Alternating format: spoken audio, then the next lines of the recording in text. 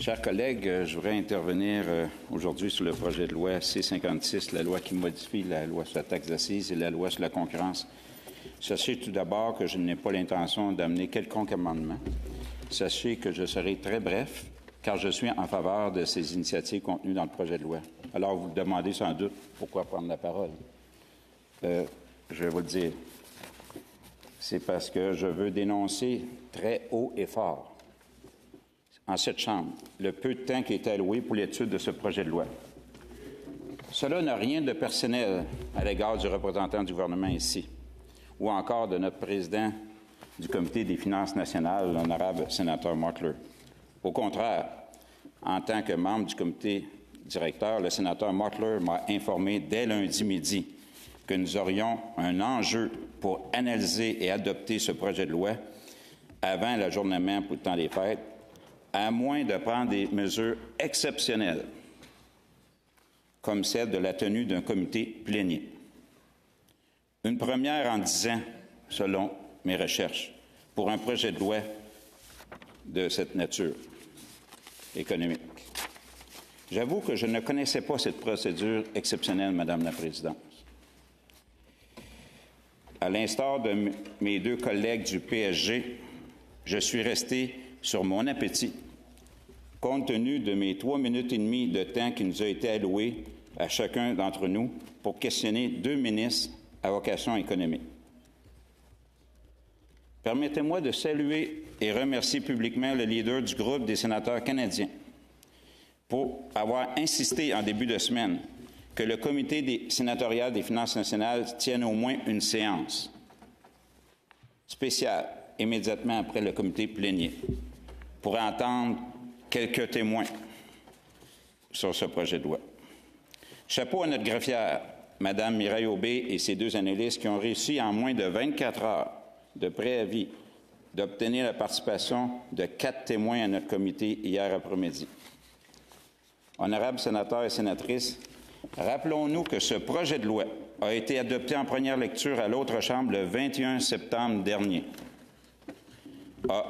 Et a été reçu ici au Sénat lundi soir de cette semaine. Qu'il me soit permis de souligner que le comité des finances de l'autre Chambre a pu consacrer plus de huit heures de leur temps, entendu neuf témoins. À première vue, cela doit vous, sans doute vous rassurer. Or, sachez que l'Association du barreau canadien, qui a déposé un mémoire que j'ai ici entre les mains d'une trentaine de pages avec 19 recommandations, n'a jamais pu témoigner.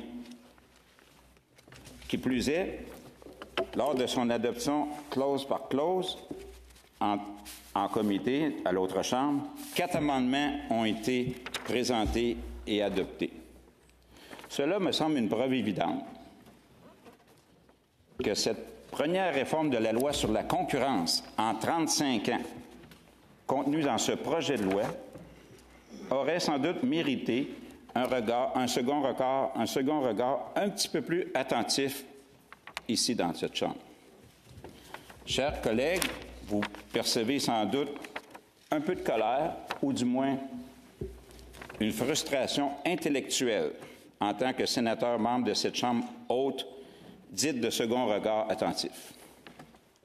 Cette semaine, je n'ai pas senti que nous faisions partie d'un système parlementaire bicaméral composé de deux chambres. J'ai plutôt eu l'impression de siéger au sous-sol de la chambre basse à l'autre endroit et être traité comme un parlementaire de seconde classe.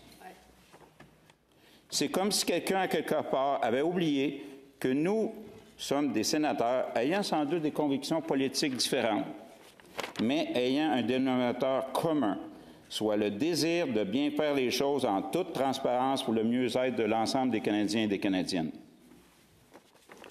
Je remercier mes collègues du comité directeur des finances nationales qui ont accepté de relever un petit peu le ton dans l'observation qui a été déposée hier soir. Habituellement, aux finances nationales, on utilise des mots plutôt feutrés, des mots polis, courtois. Cette fois-ci, on a haussé un peu le ton en mentionnant qu'on trouvait cela méprisant que le comité ait eu aussi peu de temps. pour pouvoir analyser ce projet de loi. Donc, honorables sénateurs et sénatrices, je termine, mais sachez que malheureusement, je crois bien avoir attrapé le vilain mal de gorge du sénateur Carignan, de sorte que je vais m'arrêter ici et ne pourrai sans doute pas répondre à vos questions. Merci de votre attention.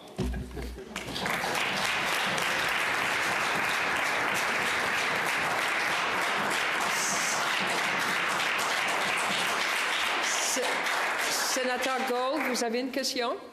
J'avais une question. euh, peut-être, euh, est-ce que je peux vous demander, chers collègues, peut-être de reconsidérer? Madame la Présidente, ça va être la seule que je vais prendre en respect pour le sénateur Gould. Merci, chers collègues. C'est bien important que nous, au Sénat, ayons le temps d'étudier comme il faut les projets de loi. C'est toujours la- la façon à procéder c'est toujours ce que je souhaite.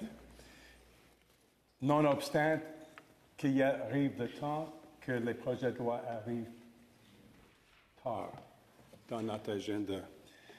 Ma question est la suivante, euh, chers collègues. Savez-vous que mon bureau a suggéré que le comité des finances fasse une préétude de ce projet de loi, à laquelle aura participé. Excusez-moi. Je vais commencer, je vais Question? commencer de nouveau. Compte tenu du fait que le projet de loi était dans l'autre place et on ignorait exactement quand on va le savoir, mais c'était une priorité pour le gouvernement et pour les Canadiens.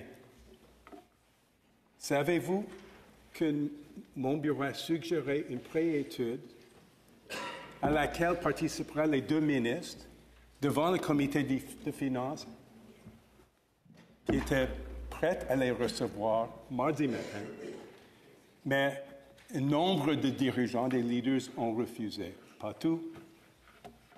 Suffisamment un nombre qu'il n'y avait pas un consensus et on avait besoin d'un consensus pour le mettre en place compte tenu de le, le calendrier. Et c'était juste. Alors, êtes-vous au courant que c'est. OK. Colleagues, Chers collègues, Sénateur Gould, votre question? Vous au courant que le, bureau de représentants gouvernementaux a suggéré une préétude devant le comité qui nous donnerait plus de temps pour l'étudier, pour le comité de l'étudier et pour nous de le débattre si, en fait, c'était accepté. Mais malheureusement, ce n'était pas accepté. sénateur Gignac. Madame la Présidente, euh, je n'étais pas au courant de toutes ces tractations-là, de négociations qu'il y y a eu entre les leaders. Et en tout respect, euh, je vous remercie de nous partager cette information. Parce que pour moi, euh, on le voit dans les BIA, on a souvent des pré-studies aux finances nationales. On a cette possibilité-là de siéger n'importe quand, en toute fin pratique. Donc, euh, j'ai été très, très, très surpris qu'on n'utilise pas cette approche-là normalement du BIA et évidemment très frustré au plan intellectuel. C'est la loi sur la concurrence. On ne rit pas.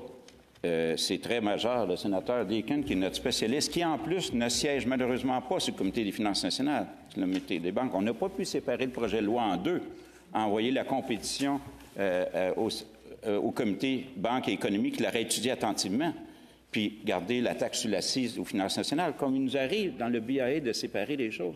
On n'a pas eu cette chance-là. Donc, moi, c'est la première fois que je vis cela. Euh, je pense ne pas être le seul euh, à avoir vécu cette frustration. En même temps, les Canadiens veulent le soulagement, puis on comprend. Donc, je voulais juste, euh, en toute impartialité politique, parce que je pense qu'on, peu importe nos convictions, on, on est là pour améliorer le sort des Canadiens, mais le processus. Vous savez, j'ai un seul engagement en dehors du Sénat. C'est pro bono. Je suis le président du conseil d'administration du Collège des administrateurs de société. Et la saine gouvernance au niveau des entreprises, c'est très important à mes yeux. C'est pas les bonnes pratiques qu'est-ce qu'on a eu cette semaine. C'est des mauvaises pratiques. Et, et, et je n'étais pas au courant de cela, mais je fais appel aux quatre leaders, euh, s'il vous plaît, la prochaine fois, euh, dans vos arbitrages, et je comprends ça, j'ai été trois ans et demi en politique, je sais qu'est-ce que ça peut représenter s'il vous plaît, les quatre leaders, quand c'est des projets de loi de ce type-là, euh, organisez-vous pour donner l'autorisation d'une préétude. OK? C'est ça qu'on a besoin. Moi, vois, et, je vais vous faire déjà une prédiction. Quand je vois l'Association du barreau avec une trentaine de pages et 19 recommandations, c'est d'une évidence qu'il va y avoir des amendements qui vont être apportés à cette loi-là dans les prochains mois parce qu'il va, il va y avoir des choses qui vont se passer. Fait que, donc, nous, on n'a pas eu ce regard-là. Et, et, vraiment, je ne trouverais pas qu'on était traités comme des parlementaires de la Chambre haute. Je trouve qu'on a été maltraités. Et comme j'ai dit dans mon, dans mon préambule, sénateur Gould, ça ne va rien de personnel à, à votre égard, ni à l'égard du président du Comité des finances nationales. On était, ce qu'on dit en anglais, en damage control et on a dû faire avec les décisions qui ont été retenues. Merci. Thank you.